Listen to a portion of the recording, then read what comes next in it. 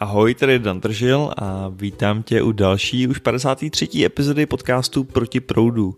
Dneska je opravdu hodně proti proudu. Mým hostem byl totiž Jirka Charvát, známý taky pod přezdívkou Rimmer, Jiří má takový dar, umí velmi dobře psát. Po tom, co působil několik let jako copywriter seznamu, tak píše svůj blog I Write, který vyhrál i třeba nejlepší blog roku. Napsal knížku Escape, píše různé články, poezii, prózu, komiksy, opravdu spoustu věcí. A v poslední době ho taky můžete vidět hodně na pódiu. Dělá různý stand-upy, slam poetry, improvizaci a podobné věci a mě Jirka hrozně zaujmul a vlastně neskutečně rozesmál svojí přednáškou 7 důvodů, proč nikdy nenajdete lásku, kterou jsem viděl naživo na konferenci o stazích. V tu chvíli jsem si řekl, že bych Jirku chtěl do podcastu pozvat a až postupně, když jsem si dělal takový průzkum, tak jsem zjistil opravdu tu hloubku těch témat, kterým on se dneska zabývá. Tenhle podcast byl takový spirituální freestyle s Jirkou Charvátem a já si myslím, že o tomhle se ještě bude chvíli mluvit. Takže už mi nezbývá, než vám popřát otevřenou hlavu k tomuhle rozhovoru a užijte si ho.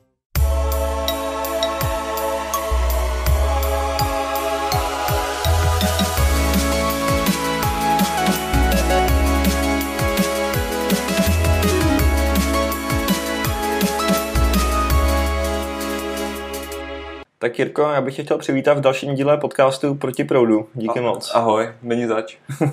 já jsme se tady bavili o tom, že to pojmem asi ty jsi vlastně dvojnásobný český vítěz Poetry Slamu, takže to pojmem takovým podcast slamem a nějak to tady, nějak to se tady dotkneme těch témat, který nás oba zajímají a který ty máš v malíku. Mhm, dobře, uvidíme. Ale já bych to možná chtěl třeba odpíchnout od toho, že ty jsi takový mistr slova, skoro bych řekl. Vybavíš si nějaký moment, kdy jsi si uvědomil, že třeba jde psát? Že by se s tím možná mohl živit někdy v životě? Eh, s tím mistrem slova je to hrozně ošemetný, protože jo. celou dobu jsem jenom ve své hlavě, žádný jiný jsem nebyl, takže já nejsem schopný porovnat svoje vyjadřovací schopnosti s nějakýma jinýma, takže je hrozně těžké to z mé perspektivy posoudit. Ale já jsem byl hrozně brzo vystavený textu, ve čtyřech letech eh, jsem se naučil číst, rodiče mě prostě hodili do knih a ve školce jsem přečítal ostatním dětem, takže asi tenhle raný kontakt s textem způsobil, že teď jsem v něm víc doma než vlastně ve hmotě. Jsem docela manuálně nešikovný a utíkám vlastně do, do slov a do textů, s kterými umím manipulovat líp než se skutečnýma předmětama. Bylo to pak tak, jako že když jsi třeba i řešil, co tak nějak dělat po té škole, že si klasicky rovnou utek k tomu psaní? Nebo, nebo psal jsi už v té době, jako třeba mladý něco? Uh, jo, já jsem uh, už na, na gymnáziu, už vlastně na základce vytvářel školní časopis uh, o jediném exempláři, který jsem dělal celý sám a píchal jsem ho na nástěnku špendlíkem a když jsem se rozhodoval, co dělat, tak jsem šel studovat žurnalistiku. Pak jsem zjistil, že mě to uh, netěší, že neexistuje objektivní realita, takže není moc co popisovat vlastně. To, co napíšeš do novin, tak druhý den můžeš zahodit. Vlastně hlavní spravodajské hodnoty jsou negativita a aktuálnost. Tak jsem hledal něco jiného, kde taky můžu text uplatnit. Objevil jsem copywriting, což jsem ještě na škole netušil, že to existuje. A i to se mi postupem času přejedlo a teď už chci psát a říkat jenom to, co já fakt chci eh, říkat a psát. Něco, co lidem pomůže spíš než že to má za úkol přimět k požadovaný akci, kterou chce vlastně někdo jiný. Já jsem si tak jako vypsal pár takových tvojich citátů nebo věcí, co jsem se to přečet, že se o to vždycky jako trošku odpíchne. ne, mně se líbilo vlastně, že ty se na svém webu máš eh, takový ty různý, jako co nejseš a pak, a pak tam máš tam samozřejmě, že jsi vědomý a říkáš lidem, co nechtějí slyšet a oni se smějí. Mm-hmm. Když se o to odpíchnout. No, chci se odpíchnout od toho, že, že jsi vědomý a možná i od toho, že lidi se jako často smějou věcem, který vlastně nechtějí slyšet, nebo možná se smějou tomu, co je často jako nějak se jich dotýká, že jo, asi, ale já nevím, jestli to nechtějí přiznat, nebo, nebo to chtějí možná slyšet v jiné formě. Ono totiž existuje teorie, co to vlastně je smích, s kterou já pracuju. A ta říká, že smích je reakce na hrozbu, která se ukázala být neškodnou. Což znamená, že třeba v pravěku si šel, v křoví se něco eh, šustlo a ty se zbál, že to je šalozubý tygr, tak se jakoby stuhnul a bál ses. Zjistil si, že to je jenom slepice třeba, tak si se tě ulevilo vyšel z tebe zvuk, což byl ten smích, kterým si zbytku tlupy dával najevo, jako je to v pohodě, dneska neumřem. A to je funkce smíchu, která přetrvala až do dnešních dnů, akorát už to nemusí být čistě fyzické ohrožení, ale jakýkoliv. To znamená narušení kulturních norem, sociálních norem, jazykových norem. Proto vlastně tím, že já tam zpřítomním něco vlastně nepříjemného, tak ty lidi můžou buď brečet, ale nebo se můžou smát, což je taky vlastně jenom vypůzení úzkosti v tobě nahromadění. Takže ještě řeknu, eh, mám třeba stand-up, kde říkám těm lidem, umřeš. ho řeknu, jenom řeknu a ty lidi se smějou, protože, a není to vtip, možná je to pravda, nevím, a z nich se prostě dere ven ta úzkost. Nebo když jim řeknu, že jejich práce je vymyšlená, že nemá žádný význam, tak oni se zase smějou, ale je to tím, že to někdo zpřítomnil mezi těma ostatníma lidma. Není to akutní hrozba v tuhle chvíli, večer možná budu kvůli tomu si pobrečím nebo tak, ale teď se prostě směju. Mně vždycky přijde zajímavý, já nevím, jestli sleduješ třeba nějaký ostatní stand-up komiky, že, že vlastně za tím smíchem je tím způsobem celá věda, kterou asi, nebo ne věda, ale je to nějaká, že jo, nějaký soubor pravidel, který ano. často ty normální lidi vůbec netušejí. Ano, to je pravda. Eh, četl jsem pár knih o stand-upu a vím o těch pravidlech.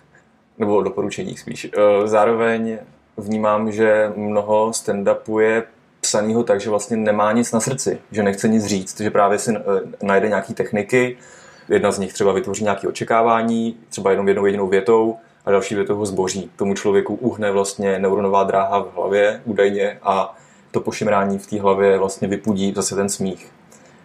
Ale já zároveň chci i něco říkat.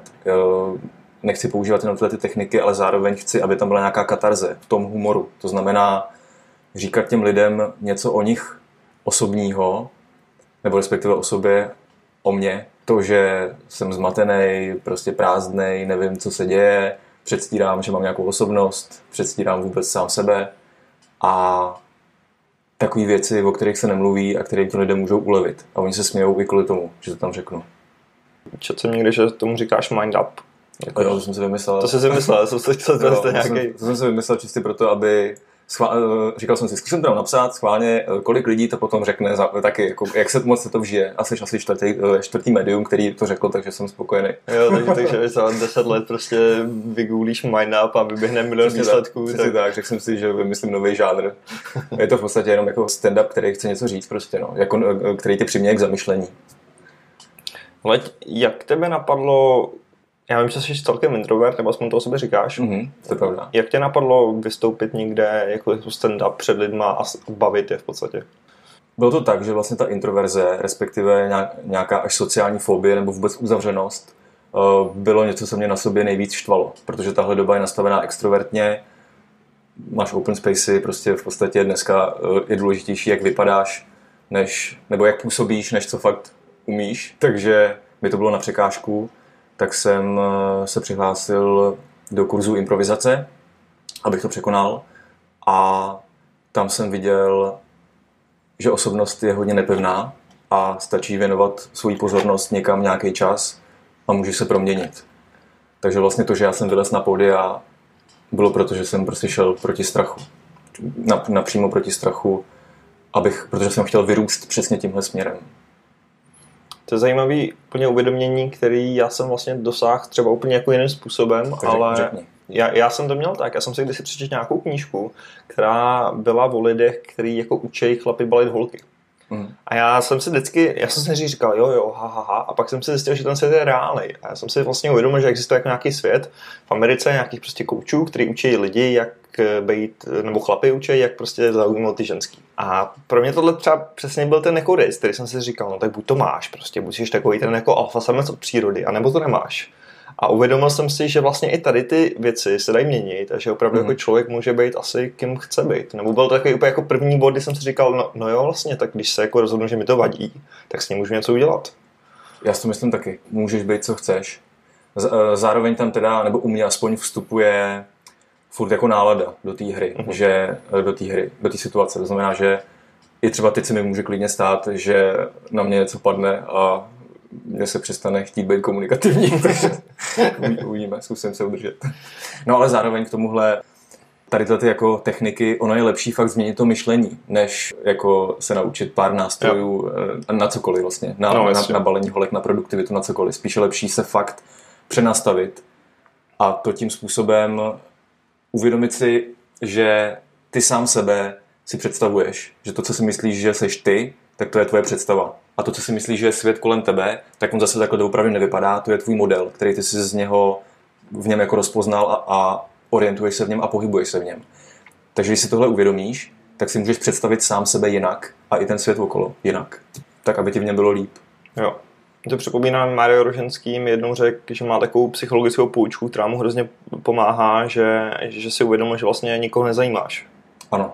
Že prostě, že, se hodně že to jako vlastně hrozně tě osvobodí, když si uvědomíš, že vlastně ne, jako někoho nezajímáš. Jako Jo, těm jo. lidem je to jedno, jestli Ano. chodíš na hatej, nebo prostě Jo. to jsi takový namakový. Je to tak. Každý přemýšlí prostě 99,9% času o sobě.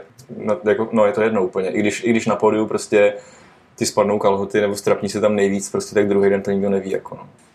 Vím, že ty máš teda nějaké věci z té školy improvizace nebo z toho improvu. Já mám pocit, že ty i nějakým způsobem teď to dál vyučuješ nebo děláš Ano, nějaký ano. kurzy. Ano. Jakým způsobem se dá ta improvizace naučit? Nebo nevím, jestli chci úplně sklouznout k improvizaci nebo ke kreativitě. A myslím si, že to je asi dost podobný. Že? Hodně to souvisí.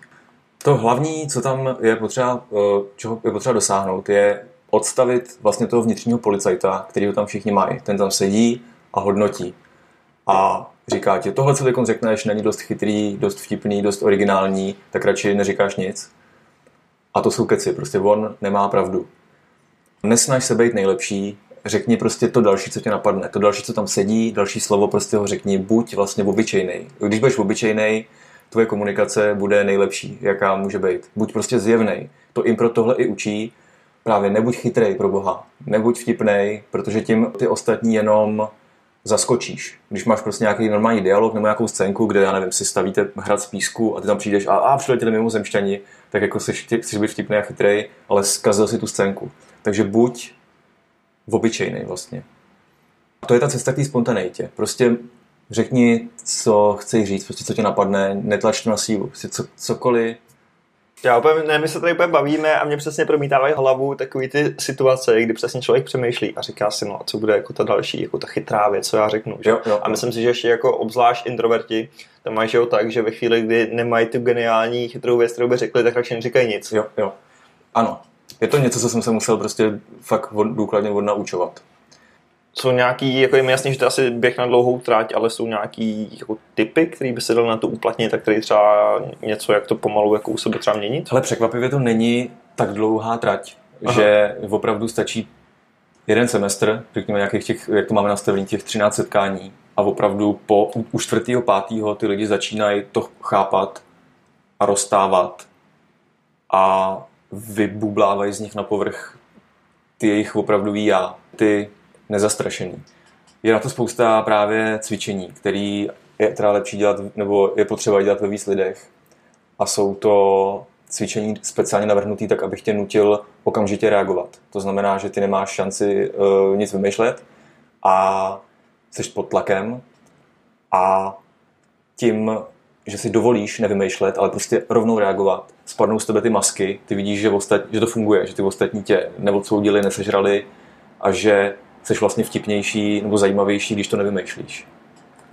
Teď promítá se to nějak třeba i do toho, jak ty píšeš?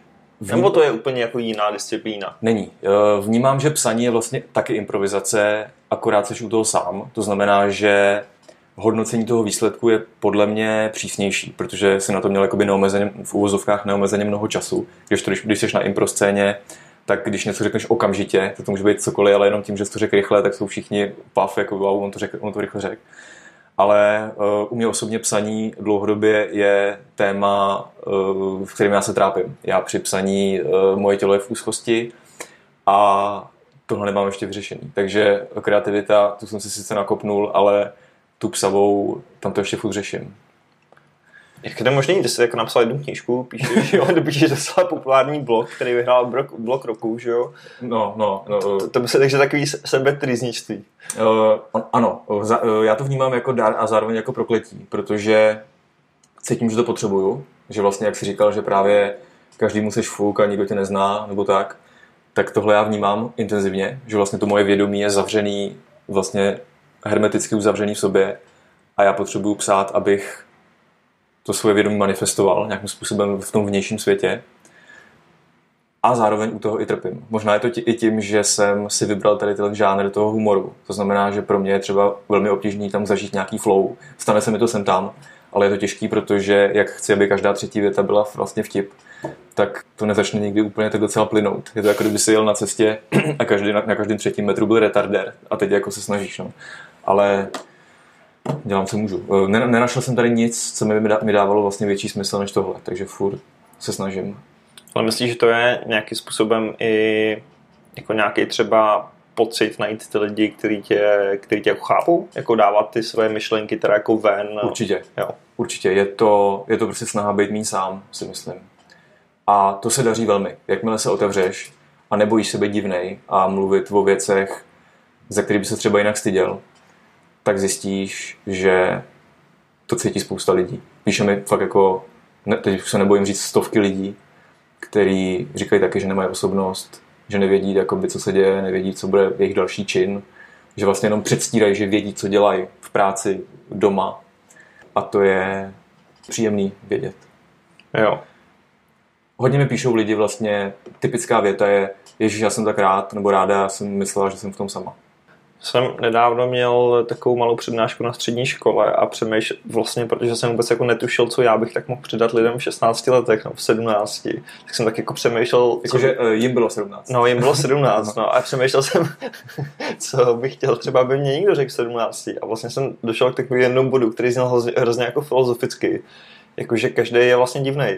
A, a to si myslím, že si spoustu lidí možná ani do dospělosti jako neuvědomuje, že to vlastně OK být jako jiný nebo divný, protože vlastně každý je. Tohle je hrozně divný, že jo? No. Řek, řek, jsi to? Řekl jsem to, no. Ale, ale já, jako víš, zase jako nevím, jestli to pochopíš, že ještě takhle někdo řekne. Nebo jestli si k tomu musíš nějak dojít. Ale, ale jako ta snaha jako z, nějakým způsobem zapadnout je, nevím čím způsobená, ale je ohromná je způsobená že jo, tím, že dřív byla prostě tlupa a když si nezapad, tak si byl, prostě šel do džungle a umřel. Takže to je strašný strach být vlastně jiný. Ale zároveň z většina lidí, s kterými mluvím, tak všichni říkají, že jsou divní, nebo jako je, Maria, prostě já jsem div, jako jiný nebo divný, ale to je trošku divný, že to říká každý. A navíc to, kam my se snažíme zapadnout, tak to jsou ty veřejný, veřejný podoby těch lidí. Že? Ty soukromí jsou jiný. Pak začneš s někým chodit a zjistíš, že každý má prostě svoje kostlivce ve skříni a démony a prostě ano, takže je tady, je tady veřejná schránka. Já taky nejsem takovýhle, jako když večer přemýšlím o existenci a myslím si, že to nemá smysl. Neházíš do toho joke, jo? Ne, ne, ne. Tohle je taky, tohle je taky vlastně moje jako veřejná, eh, veřejná podoba a taky je to vlastně svýho druhu role. Jo. Nebo ne svýho druhu, tohle je prostě role. Podle mě vlastně všechno je role, kromě toho, když jenom ležíš v posteli a koukáš do stropu a vnímáš, tak to je, to seš ty. To je prostě vědomí, který, průduch vědomí, který vnímá, ale jinak všechno je naučený.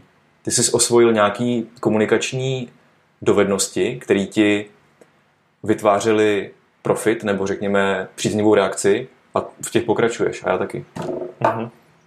Ale podle mě, co se týká toho poetry slamu, to je taková disciplína, kterou já hrozně obdivuju, jak vy jste jako schopný to sázet eh, ještě do těch rýmů. Protože pokud se takhle bavíme, tak já třeba si myslím, že tenhle dar má možná mnohem víc lidí, ale spoustu lidí to třeba neobjevilo a nepřišlo na to, jak vlastně oni by mohli třeba rýmovat, nebo psát poezii, nebo, nebo dělat tady ty věci. Já souhlasím. Eh, je to tak, že prostě ty děláš to, co uvěříš, že jsi schopný dělat. Pak to prostě děláš. Jinak u toho slemu, že něco je improvizovaný, něco není improvizovaný. Jo. Ale jo, tak podle mě jako lidi dokážou rýmovat, si myslím. Najdeš dvě slova, které stejně znějí. A nebo když používat rýmy.cz a tam ti to dokonce najde za tebe někdo jiný. Fakt, jo, je tam jako, že tam dáš slovo a ono ti to zajímavý. Takže taková pomůcka toho. Já to používám, klidně to řeknu. Uh, používám to.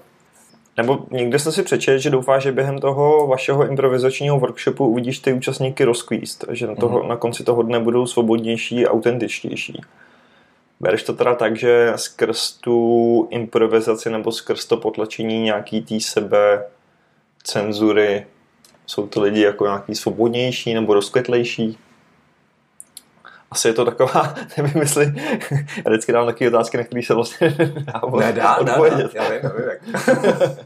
Odpověď ano. A podle mě to je tím, že právě jako zapadnout, zapadnout. Jenomže ty lidi tam venku, eh, jak si řek, tak ty je nezajímáš. Takže oni existují primárně u tebe v hlavě. Ty do nich vkládáš, co si oni asi myslejí o tobě. Oni si nemyslejí prakticky nic. A když je dokážeš odclonit, protože ty jsi se sám i vytvořil, tak se je můžeš sám i zamíst, tak pak může být prostě ty, ať si každý myslí, co chce.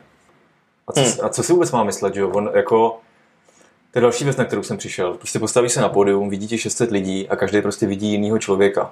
Někomu připomínáš někoho, kdo ho šikanoval ve škole, tak prostě cítí něco jiného, než někdo, komu, kdo vypadá jako někdo jiný. Takže ty to neovlivníš, co si ty lidi myslí. Je to vlastně jako druhá dohoda, myslím, nebo, nebo teď nevím která, nebo mhm. třetí, uh, neber si nic osobně. Udělám video a mám prostě hromadu nadšených a pak nějakou, pak nějakou část prostě pobouřených, naprosto jako rozlícených lidí. Co ti třeba v tomhle sebepoznání pomohlo? Nebo jaký byly takový třeba zásadní body, kdy, kdy jsi tady ty věci začal uvědomovat? U mě je to opravdu ta improvizace v první řadě a potom psychedelická zkušenost. Takže psychedelický stav. Nejprve to bylo s ayahuaskou, což je liána duše nebo smrti, a potom to bylo s žábou Bufo alvarius, což je nejsilnější přírodní halucinogen, jaký existuje. A to je stav, v kterém já jsem si uvědomil svoje vědomí jako nikdy předtím.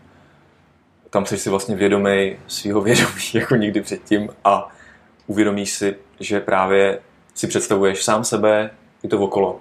Že to je vlastně tvůj myšlenkový konstrukt. A to mě naučilo úplně novým způsobem o vědomí přemýšlet. Teď ho řeším vlastně, kudy chodím. Takže tyhle dvě, tyhle dvě věci, improvizace a psychedelická zkušenost. Jel jsi za tou psychedelickou zkušeností s tím cílem?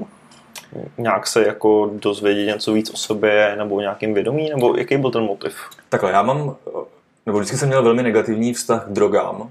O té vlastně jsem nikdy v životě neslyšel, až jsem narazil na knížku od Marka Girasy, nevím, jestli ho znáš. Mm-hmm, to jméno znám. Je to takový uh, Ezo Černoch český a knížka se jmenovala 21 dnů a byla strašně chytrá a on tam asi v pětně té knížky básní právě o té ayahuasce. Tak jsem si říkal, to je fakt, co to má být. A potom mě kolega, uh, student v té impro škole právě pozval na tuhle zkušenost. A já, kdybych tu knížku nečetl, bych asi v životě na to nekejv. Ale takhle jsem řekl, že jo. A moje motivace byla zbavit se strachu. Tam přímo i koloval takový eh, šaman, nám poslal špagát po kolečku, ať každý udělá úzel a řekne, co chce vlastně od té liány se dozvědět. On říkal, nebuďte pasivní eh, během toho tripu. Vlastně dávejte tomu otázky, ono to prostě je to nějaká inteligence, ona vám bude odpovídat zpátky. Nenechte se tím jenom prostě vláčet, ale zkuste s tím aktivně pracovat. A já jsem se chtěl bavit strachu, eh, ať už na té sociální úrovni nebo na té tvůrčí. Na té sociální se mi to povedlo, protože jsem vlastně dospěl k tomu, že tohle není úplně doopravdy, takže se tady není tak nějak úplně čeho bát. A na té tvůrčí tam furt, furt ještě na tom pracuju. Ale jak se to třeba pak projevilo? Ty jsi asi v té době ještě byl normálně zaměstnaný v seznamu, měl si pod sebou nějaký tým copywriterů, pokud se nepletu. Hmm. Za prvý možná mě zajímá, jak se vlastně tady s těma věcma tenkrát dostal, nebo se ti vlastně v, tý, v tom životě, v tom objektivním hledisku se ti třeba relativně dařilo, že jo? Měl jsi asi dobrou práci, Jo. jo. Jako zá, ono záleží, co to je, že jo? jo co, co to je za objektivní hledisko. Podle mě to, jestli se ti daří, můžeš eh, zhodnotit jenom podle toho, jak ti je. prostě jaký je tvoje prožívání. Je, jestli hodnotíš, že se ti daří podle toho, co vidějí ostatní, tak to, je, to nejde, no. to je blbost. Jo, to je vždycky zajímavý, nebo nějak jsem se tady dřív snažil dostat nějaký definici úspěchu, nebo takhle, mm. a je to, je to, že přesně tady to hrozný nebezpečí, že vlastně vůbec nevíš, mm. jestli ten kdo je ten arbitr? Jo, jestli, jestli ten Elon Musk prostě, nebo tady ty jako takový ty nejvíc třeba braný jako světový jako lidi, spokojený. jestli je vlastně spokojený, mm. nebo, nebo jak se cítí, nebo... Jo, jo. Ale mě to prvních pár let v tom kanclu vlastně těšilo. Uh, ta práce byla kreativní ve svých určitých mezích a mě to, mě to vlastně přestalo bavit vlastně kvůli tomu, že mi tam prostě přetýkaly ty jiné aktivity, které mi dávaly větší smysl. Uh, když tě někdo prostě objímá po nějakém výstupu a prostě děkuje ti, nebo ho dokážeš fakt jako rozbrečet nebo se ho nějak dotknout, tak tohle mi ta výplatní páska nebyla schopná vlastně vykompenzovat, tak jsem si řekl, že zkusím tohle spojit i s tím, aby to byla obživa. Ty jsi to udělal zajímavým způsobem, nebo způsobem, který v Čechách moc lidí nedělá, že mám pocit, že máš nějaký desí patrony, že mm-hmm. na svém blogu lidi, kteří tě za tu tvoji tvorbu vlastně odměňují. Ano, je to podobně jako Kickstarter, akorát je to, jmenuje to Patreon a je to soustavná podpora. To znamená, že já tam, respektive ten patron má možnost nakliknout, kolik je ochotný mi dát za jeden kus umění a jakmile já něco udělám a já sám považuji, že to stojí za ty peníze, tak tam zafajfknu fajfčičku a jemu to strhne tu konkrétní částku vlastně z karty. Jak to funguje třeba v Čechách tohle? Protože vím, že ve světě to je celkem velký, tady to je taková novinka, nebo lidi na to ještě nejsou moc zvyklí, si mm. myslím. Ale patronů mám vlastně pár, mm. nějakých něco kolem 40. A záleží asi, kolik chceš od toho mm. a taky, jak ty sám jsi schopný dávat něco na oplátku. No. Já kdybych opravdu proboural ten, ten psací blok, který mám, tak věřím, a psal bych denně, kdybych si z toho udělal fakt jako habit, prostě jako jít do kanclu, tak věřím, že by to prostě z části obživa být mohla. Že kdybych, tohle, kdybych to uh, psaní plus to vystupování dal dohromady, takže by to klidně ten kancel nahradilo. A jak to je teda teď? Jedna část je to psaní a to druhý je třeba to vystupování, nebo tam máš ještě něco teď, nebo děláš nějaký zakázky? Copywriting teď nedělám, jo. protože fakt já cítím, že prostě když budu textovat web, tak je to prostě den, kdy nebudu dělat nic, něco jiného, co bych dělal radši. A zatím musím zaklepat, tak v těch, od prosince jsem vlastně na volný noze v úvozovkách a vždycky přitekly peníze srovnatelný s tím příjmem v té kanceláři. Takže ano, je to, je to psaní a je to vystupování. Hleď, uh... A moderování někdy. Tedy. Jo, moderuješ vlastně ještě. Tu a tam. no. Je to zase jenom tak čistě, že jsem prostě si řekl, že jsem moderátor, tak si to teď jako svět myslí. Tak mě někdy pozvou. Partnerem této epizody podcastu Proti proudu je opět železná koule. Pokud železnou kouli neznáte, jde o tréninky, které se opírají hlavně o cvičení s železnou koulí, tedy kettlebellem, velkou činkou a vlastní váhou.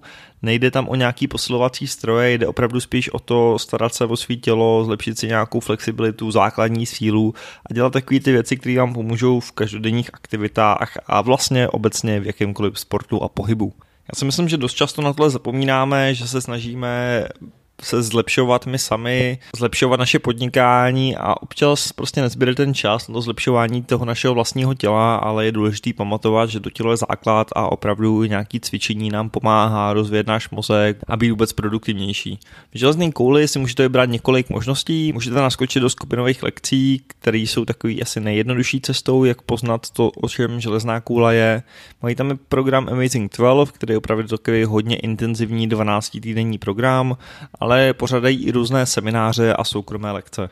Takže ať už vás zajímá cokoliv, koukněte se na web železnákoule.cz a tam najdete více podrobností. A teď už zpátky k Jirkovi Charvátovi. Zajímá mě ještě, máš třeba nějakou vizi? Nebo jako něco, co bys chtěl dělat za pět let, nebo takovéhle věci, nebo to v tuhle chvíli třeba vůbec neřešíš? Pro mě je jako nejdůležitější naučit se psát na denní bázi. Mm-hmm. Říct si, že to je fakt řemeslo, že to není, že prostě dneska nejsou můzy, tak prostě na to kašlu. Takže já teď mám tu vizi spíš zaměřenou dovnitř než ven. Chci být schopný denně psát. A myslím si, že když se tohle povede, tak potom se ve vnějším světě stane to všechno, co si vlastně přeju. To mi přijde zajímavý, protože já to mám třeba svým způsobem podobně. Já jsem se před rokem že rozhodl, že se budu živit podcastama, což je něco, co 99% lidí tady v Čechách nezná. asi ani nezná. A i přesto, že tam jako byly nějaký, nebo asi furt jsou jako okamžiky, kdy se říkám, jestli za to stojí, jestli zase jako nezvolit tu cestu toho kanclu, tak vlastně nějak jako poslední dobou jsem se dostal do takového stádia, nebo do takové zvláštní víry, jako že to dobře dopadne. A vlastně nevím, jako já, víš, nebo tak, ale vlastně máš takový to, jo, tohle je to, co chci dělat a ono to nějak dopadne. A přijde mi to jako zajímavý a nevím, jestli to se nějak souvisí s tím sebepoznáním nebo s nějakým prostě tomu být v přítomnosti nebo možná s tím uvědomit si, že toho zase člověk tolik nepotřebuje, ale, ale mě k tomuhle napadá Jim Carrey, který se zbláznil vlastně podobným způsobem, jako já blázním teďka. Tak on říkal, že vlastně jeho táta chtěl být celý život nějaký, myslím, že saxofonista nebo nějaký dechový nástroj, nevím jaký, ale místo toho byl účetní. A vlastně obětoval to, co chtěl dělat a přesto ta rodina v nějaké fázi přišla na mizinu, že prostě byli na ulici nebo co. A že teda, i když si vybereš to, co vlastně nechceš dělat a stejně v tom selžeš, takže vlastně není jiná možnost, než stejně jít za tím, co chceš. A když to ještě hodně jako s psychedeličním, tak tohle mi vlastně ukázala ta žába, že co když život nebo existence nebo realita je Luna Park, kde si můžeš prožít, co chceš. Co když mm-hmm. náhodou Může to tak být, nevíme. Jo. Tak jsem si řekl, že to musím vyzkoušet. Že když to neskusím, tak se to nedozvím. Co je taková poslední věc, jsi třeba řekl, že to jako vyzkoušíš a, a cítíš, že třeba před pěti lety bys do toho asi našel a teď jsi to jako vyzkoušel? Tak pro mě jsou to jako třeba ty fakt divné přednášky, ty, kde přicházím de facto urážet lidi, že se jako, tak řeknu ošklivě, tak předtím jsem měl třeba dost nahnáno, jako než tam přijdeš a začneš prostě říkat tu uh, HRistům do obličeje, že prostě jejich práce je zbytečná a, a čekáš, co vlastně oni budou mít za reakci. Pak nějaký to moderování, to prostě u mě nepřipadalo v úvahu. Já jsem prostě fakt před pěti, já jsem před pěti lety měl výst kurz copywritingu v seznamu, úplně nahnáno jsem z toho měl. Prostě představa, že říkám něco, celodenní školení, kde vlastně na ty lidi mluvím z patra. Já vždycky, když jsem někde mluvil, tak jsem prostě měl slovo od slova připravený. Šel jsem dokonce na speciální kurz, jak se zbavit strachu kvůli tomuhle, který spočíval v tom, že jsem tam přišel a týpek se mě ptá, jestli chceš se takhle cítit? Já říkám, ne. Tak on říká, tak necháš ten strach teď odejít? A říkám, no, jako kdyby to bylo takhle jednoduché, abych to už asi udělal.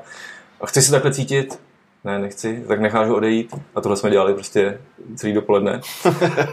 a, takže v tomhle já vidím, že se posouvám. Že prostě uh-huh. fakt tohle by mi prostě před lety připadlo nemyslitelný. A tím, že neberu sebe tak vážně a to okolo tak vážně, tak vidím, že jako můžeš dělat lecos.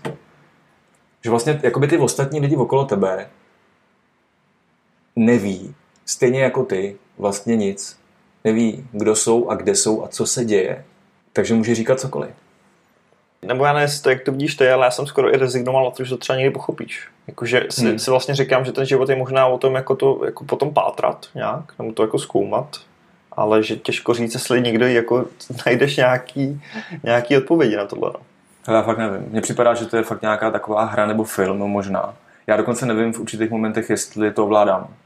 Jestli existuje svobodná vůle, protože já nevím, jaká bude mít příští věta. Já to prostě nevím. A když medituju, tak vidím, že mi tam ty myšlenky naskakují sami. Že, že prostě najednou tam přijde člověk do té hlavy a ty se tam nechtěl. Jako kdyby tvoje já, nebo ne, jako, jako to já vlastně ty myšlenky nevytváří, ale dostává je z nějakých hlubších hlubin mozku. A asi se na to nedá přijít. No. Mně připadá, že to je čistě jako prožívárna, že seš tady a prožíváš. A to je, to je celý vlastně. Tak jako, že některý lidi tomu říkají nějaká vesmírná energie a muzy a, a spoustu věcí. A... Jako, já mám taky víru nějakou Aha. spojenou vlastně s, tě, s těma psychedelikama a třeba se Stanislavem Grofem, který si myslí to stejný, že vědomí nevzniká v mozku, ale že je tady nějaký jako kosmický vědomí, nějaká inteligence, řekněme, a mozek je jeho přijímač toho vědomí, respektive ventil, který ho vlastně utáhne jenom na tuhle lidskou zkušenost, abys viděl jenom to, co můžeš sníst, vojet nebo do čeho bys vrazil.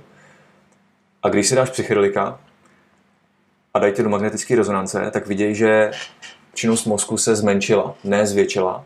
Takže vlastně jako by se ten ventil povolil a ty si chytnul tu realitu jako ve větší pálce. To znamená všechny barvičky, spoustu jako tančících různých textur.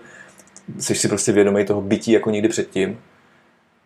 Takže já nevím, tohle, já, já nevím. Možná je tady nějaká prostě realita jiná, než ta, nebo určitě, než ta, kterou vnímáme my. Protože ty, ty ji vnímáš, třeba ty konkrétně ji vnímáš eh, z hlediska mozku lidského samce, mm-hmm. který je vlastně nadizajnovaný tak, aby přežil a rozmnožil se. A to, to vlastně definuje, co on cítí. Že? Když prostě vidíš ženu, tak cítíš něco jiného, než když ji vidí had třeba, nebo cokoliv. Takže mně skoro připadá, jako by ten vesmír byl vlastně míru milovný sám o sobě, ale my jsme zrovna vyfásli takovou nešťastnou roli, která má za úkol furt chtít a rozmnožit se a expandovat a kvůli tomu se vlastně trápíme, že nemáme nikdy dost, prostě furt chceme. Ale kdyby se skoukal vodinuť, než z lidského mozku, tak by to vlastně mohlo být docela hezký a bezkonfliktní a nenásilný. Ale měl jsi na těch psychedelikách někdy špatnou zkušenost? Protože se bavíme trošku o těch věcech, které ti to může dát. Jo. Mě zajímá, jestli to bylo třeba někdy špatné. Já jsem třeba u první ayahuasky měl pocit, že, že jsme v Matrixu, což si pořád svým způsobem vlastně myslím, a měl jsem pocit, že se nevrátím zpátky. Že vlastně celý ten život až do toho bodu, tam, toho psychologického stavu, byl vlastně sen a všechno eh, směřovalo až do tohohle poznání a že tady jsem ve skutečnosti, v jakýsi nějaký kukani, kde prostě ti promítají barvičky a intenzivní příjemný, nebo no příjemně se nedá říct, prostě hodně, hodně intenzivní pocity a že tam už budu na furt, že už vlastně nikdy nikoho nepotkám, nikdy už nebudu spát, psát a ne do smrti, ale vlastně na věky. To bylo jako hodně silný a to by se dalo označit jako nepříjemný. Ale potom ještě před tou žábou jsem hnedka po tom potáhnutí měl najednou jasnou, jasný pocit, že já teď musím rozhodnout, jestli ten trip bude dobrý nebo špatný, jestli to bude prostě do euforie nebo úplně do pekel.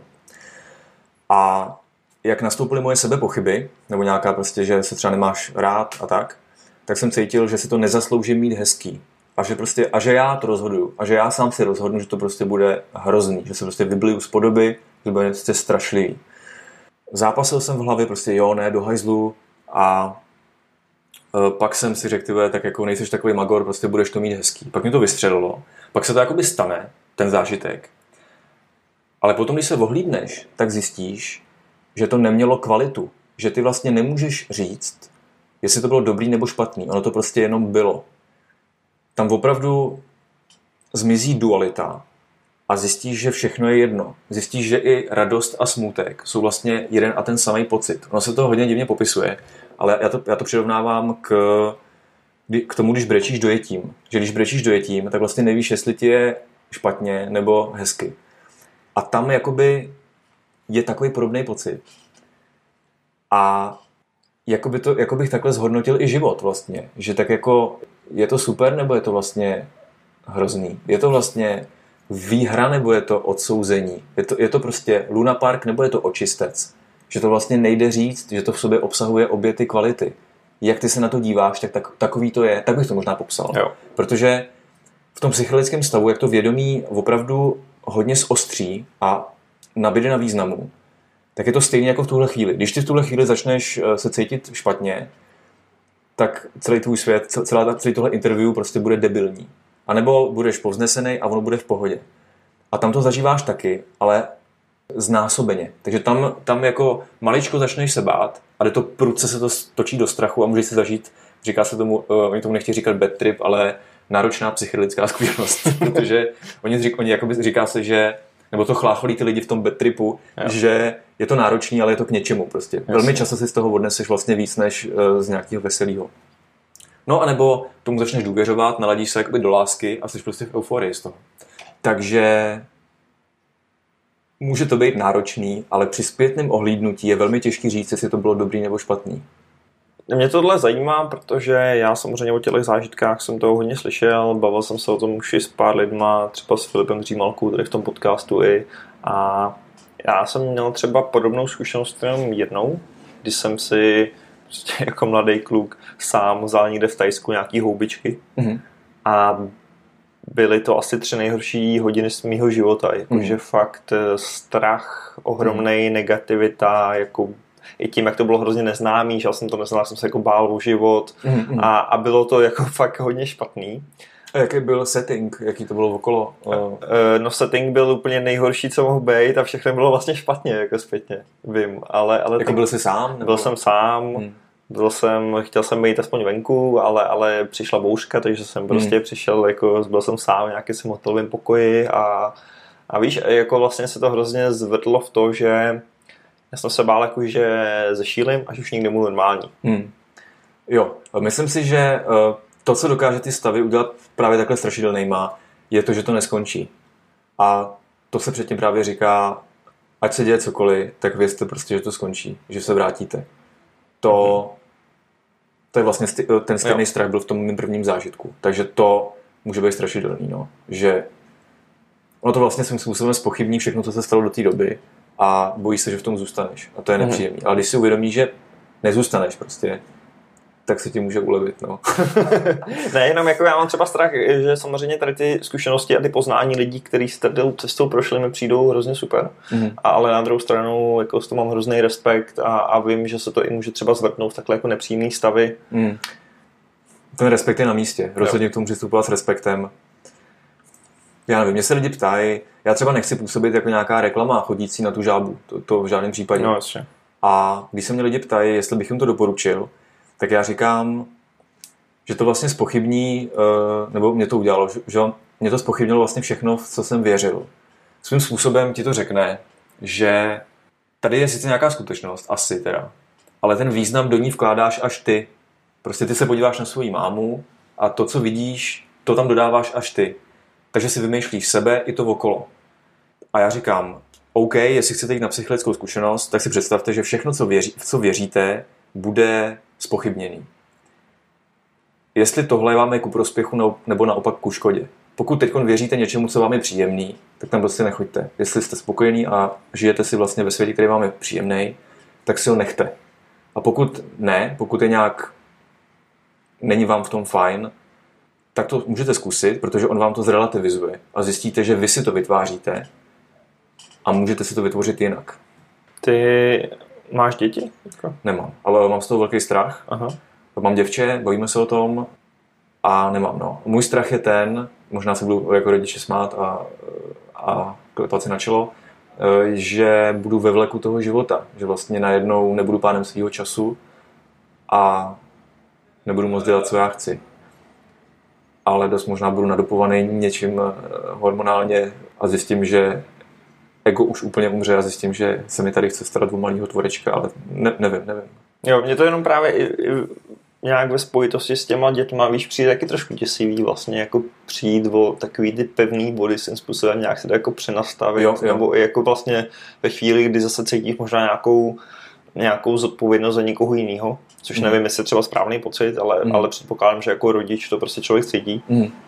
Takže to zase může trošku jako posunout někam jenom. Ano, vzhledem k tomu, eh, jak nejsem rodič, tak nedokážu říct rodičům, jestli teda na to mají chodit nebo nemají chodit.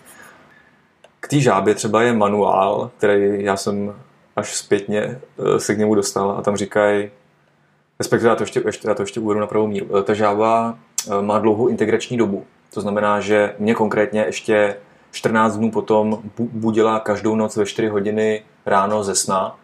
Znova mě vlastně jakoby vytahovala z těla a říkala mi, tohle není doopravdy prostě. Na jednu stranu mi dávala pocitit moji smrtelnost velmi intenzivně, jakože prostě není čas, jestli něco chceš dělat, tak prostě teď. Není žádný až, to jsou prostě keci a Charvát umře pravděpodobně.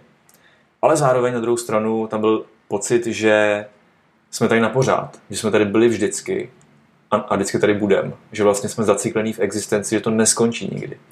A jak ve světle té smrtelnosti, tak ve světle té nekonečné smyčky nemělo smysl dělat něco, co nechceš. Prostě buď jsi tady furt, tak ti nic nehrozí vlastně, maximálně nějaké utrpení, ale pak se vrátíš jako třeba něco, nevím, nevím, a nebo umřeš. A tak nechceš ten život promrhat. A to byl ten rozdíl proti té avasce. Vezmeš si prostě liánu, změní to, změní to přemýšlení, ale za týden se s toho nějak oklepeš a už se ti to nepřipomíná. Jenomže ta žába se ti připomíná každou noc někomu prej půl roku. Vlastně oni, oni tvrdí, že tvoje ego umírá a čím více toho bojíš a čím více tomu bráníš, tak tím to bude trvat díl a bude to náročnější. A náročný to bylo. Já jsem se potil, já jsem se v jednu noc tak bál být sám doma, eh, až to přijde, že jsem šel eh, ke kámošce a jejímu eh, boyfriendovi spát k ním do postele, abych až to v noci přijde, tak abych vedle sebe měl prostě teplý tělo, aby se mi to vlastně podařilo víc strhnout do té lásky. A povedlo se to, ale úplně se tam fakt propotil postel, prostě durch. A tím, jak se to vrací, tak tě to nutí konfrontovat tohle poznání neustále se vracející fakt s tím tvým denním fungováním. Takže ty mezi tím prostě chodíš do kanceláře a v noci zase, ho, tohle není to opravdy, děláš opravdu to, co chceš dělat a teď prostě a zase jdeš druhý den do kanclu.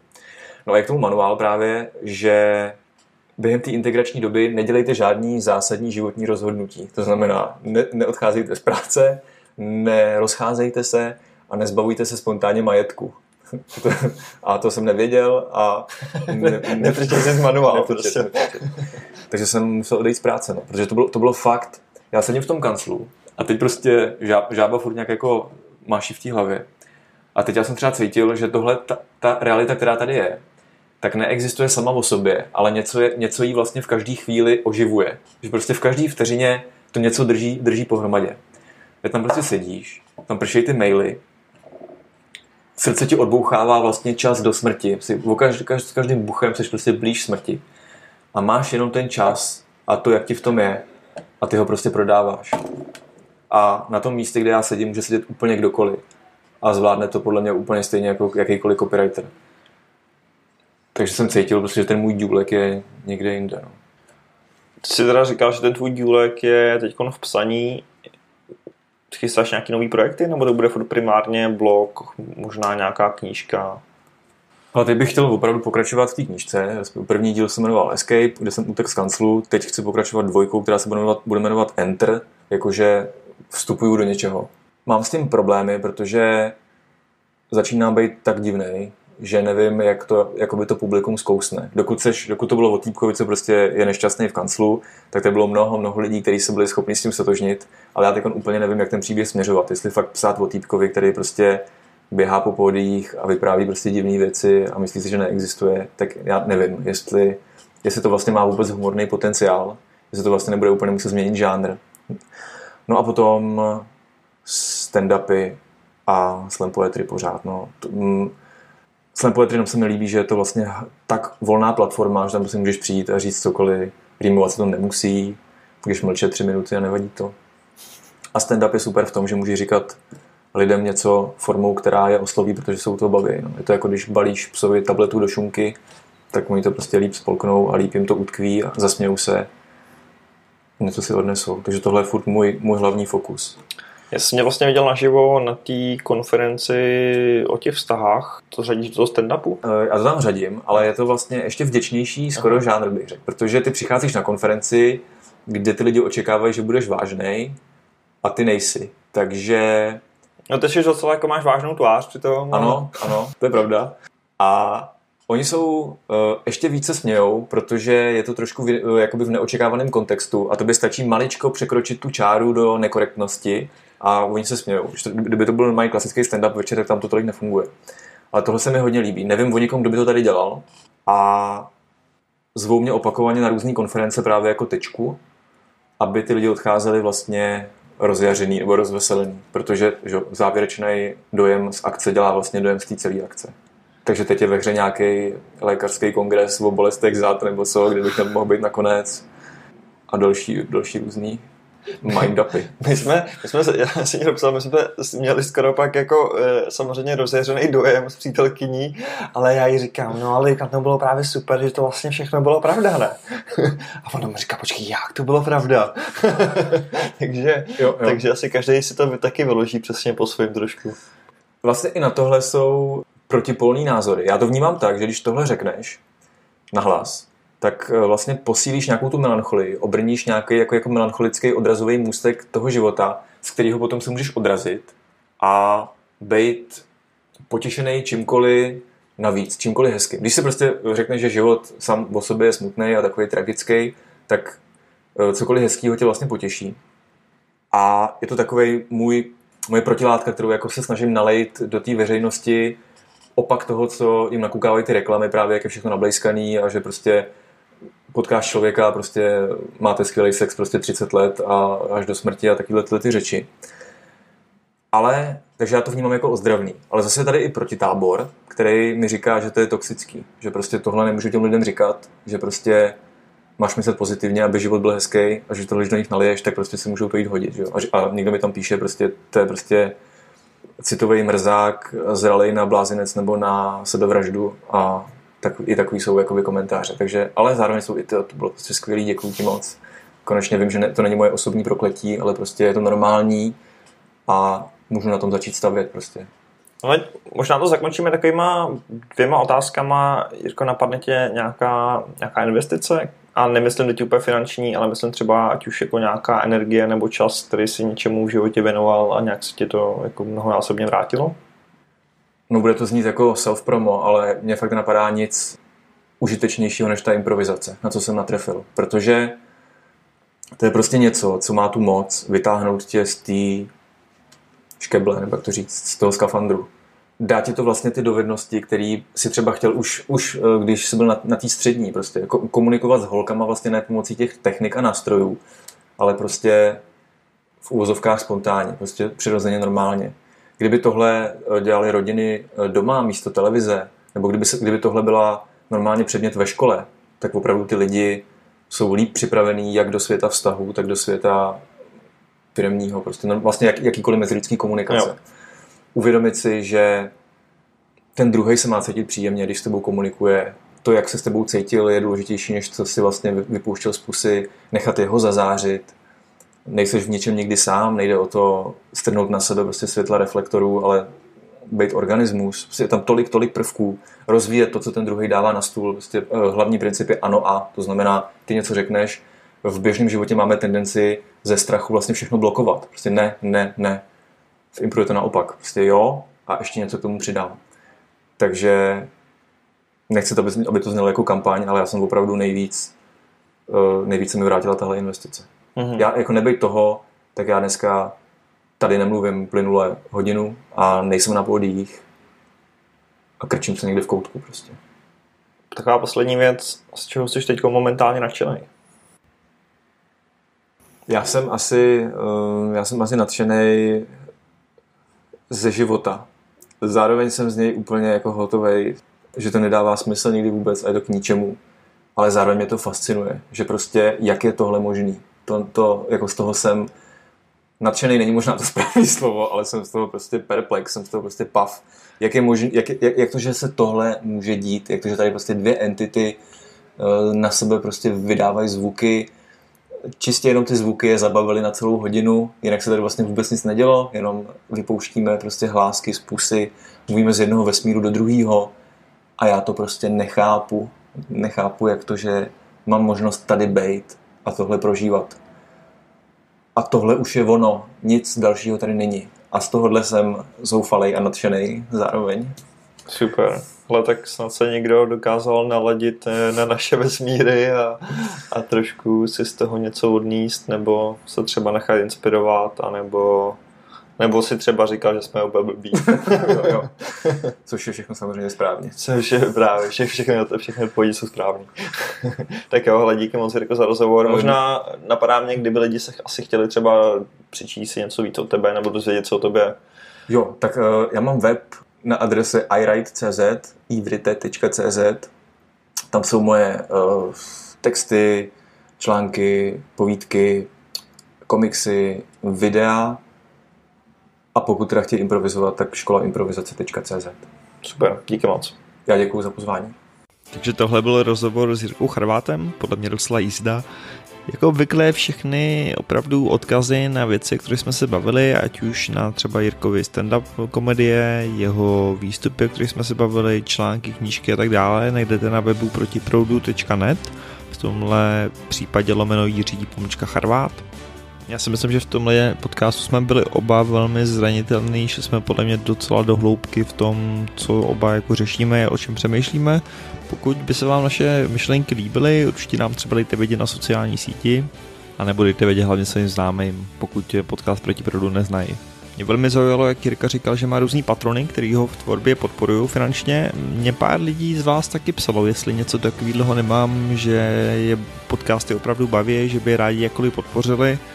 Víte co, já jsem se rozhodl, že to zkusím, protože za zkoušku člověk nikdy nic nedá, třeba to bude fungovat eh, a tím pádem bych z protiproudu odstranil ten jeden sponzorský spot, který si dovoluju do každého dílu dávat.